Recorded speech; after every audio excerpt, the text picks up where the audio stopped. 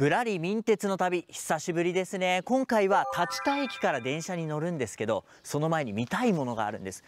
こちらなんですけど S っていう風に書いてあるポイントなんですね。このポイントは発情転鉄機もしくはスプリングポイントと呼ばれているもので基本的に前からポイントを通過する列車は一方向にしか進みません。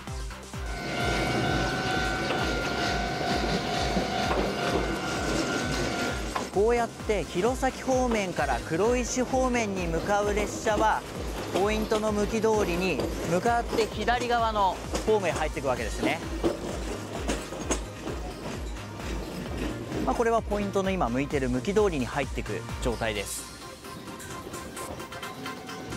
逆に黒石方面から弘前方面へと向かう列車は今ポイントのレールは切り替わってないんですが今見えましたか？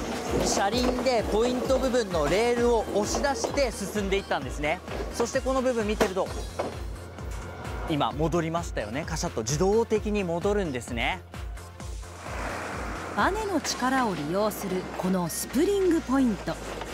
人の手でポイントを操作する必要がないので単線で列車同士のすれ違いをする途中駅に設置されていることが多いそうです。江南線では田舎館駅津軽尾上駅立田駅三郷駅の4つのすれ違い可能駅に設置されています。こういった仕組みのポイントもあるんですよね。面白いですよね。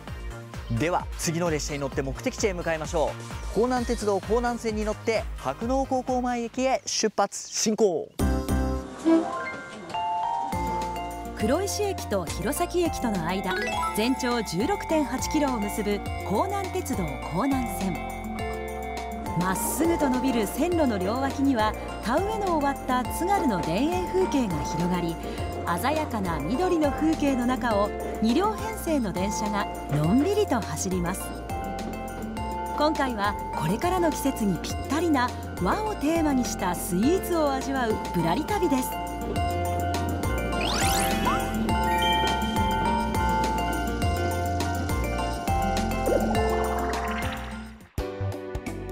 柏木農業高校が現在の場所に移転したことに伴い1980年に開業した白農高校前駅。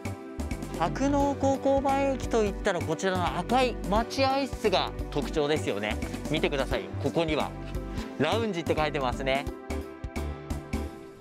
NPO などの手によって10年前に改装された待合室天井に描かれた青空によって明るい雰囲気となっています。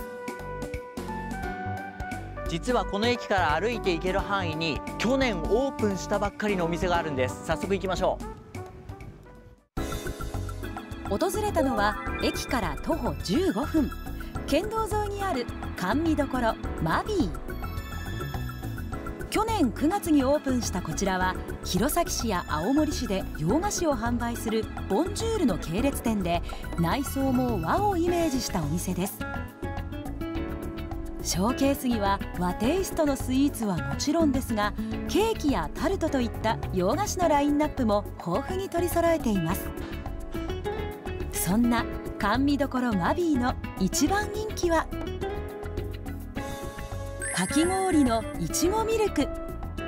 自家製の練乳と田舎館村産のいちごで作ったシロップをたっぷりとかけたこれからの時期にぴったりなボリュームたっぷりの一品です。いや見てくださいよ。このボリュームですよ。食べ応えありそうですね。わあ美味しいですねなんといってもこのいちごの味が濃厚なんですけどこう甘すぎずさっぱりとした酸味があるんですね。これだったらちょっと甘いもの苦手だなっていう方でもどんどん食べられると思いますよ。こうやって食べ進んでいくとアイスクリームが入ってるんですね。これもまたこのいちごのソースと合いますね。地元食材を使ったスイーツは他にも。こちらのモンブランパフェに使われているのはおととしこのコーナーで取材した弘前市にある小栗山農園で採れた栗。この栗を加工したマロンペーストをソフトクリームの上から贅沢に盛り付けています。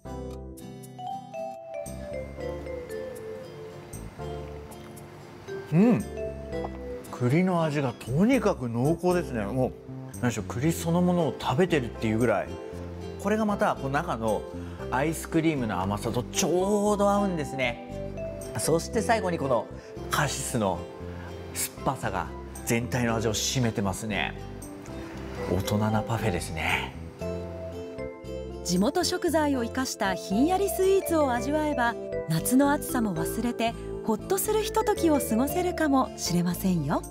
和のテイストなんだけれども、和菓子っていうだけじゃないですよね。そうですね。どうしてもこういう雰囲気なので和菓子のお店だって思ってるお客さん多くいられるんですけど実際そんなことは全然なくて一応和と洋が入り混じったちょっとユニークなお店になってますね。